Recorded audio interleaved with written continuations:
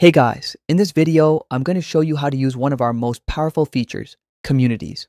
With systeme.io, you can create your own private or public community, which is perfect for building a loyal following, offering premium group coaching, or creating an exclusive hub for your customers to connect. First, let's build the community itself. From your main dashboard, navigate to the Assets tab and then click on Communities. My list here is empty, so let's get started by clicking Create. A pop-up will appear where you'll need to provide a name for your community, assign a domain name to it, and customize the URL path. You also have a key choice for automatic post approval. If you enable this, all member posts will be published instantly. If you disable it, you or a moderator will need to approve posts before they become visible, giving you more control over the content. Let's disable it for now.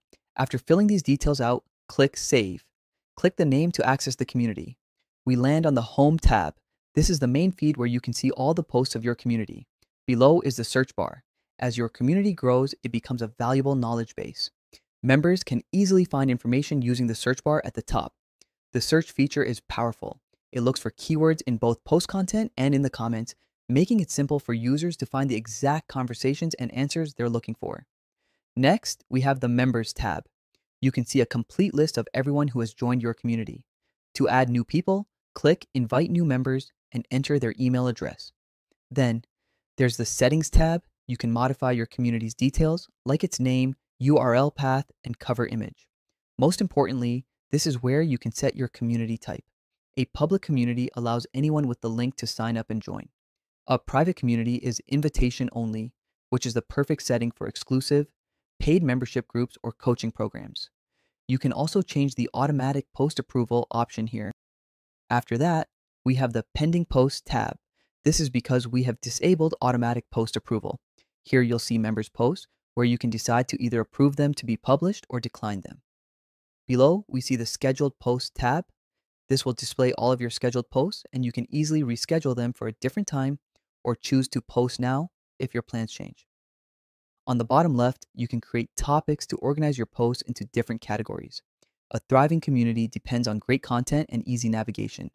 To keep discussions organized, you should create several topics for your members to post in. Let's create one quickly and name it General. Now, let's go back to the Home tab and create our first post. I'll add the title Welcome. At the bottom here, we can add an image or a video, attach a video link, or add an audio file.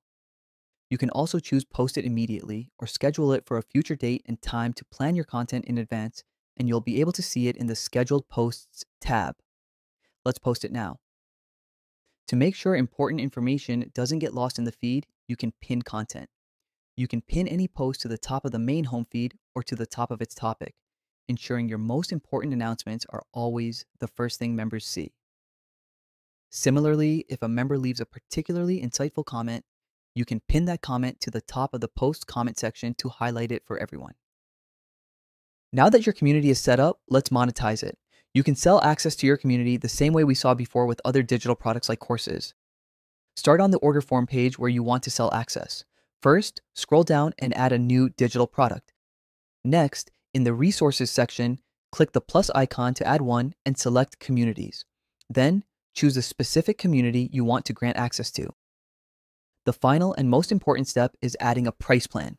Click the plus icon to create a price for this offer. A monthly subscription goes well with a paid community. Once that's done, save your changes. Now, when a customer purchases through this order form, they will automatically be granted access to your community. This process is fully automated. If a customer cancels their subscription or gets a refund, their access will be automatically revoked.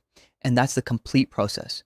As you can see, you have all the tools you need to create, manage, and sell a thriving community right here within systeme.io. Thanks for watching, and I'll see you guys on the next video.